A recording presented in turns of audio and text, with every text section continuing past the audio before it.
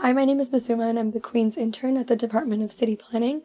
I'm from Toronto, Canada, but I was actually born in Bayside, Queens, and I'm currently a Master's of Planning student at Ryerson University.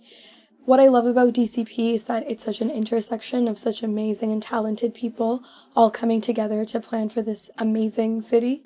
A project that I'm working on this summer is looking at the western portion of Queens, specifically in the Long Island City and Dutch Kills areas.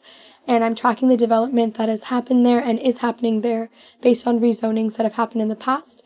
And I'm doing so by using GIS and data processing techniques.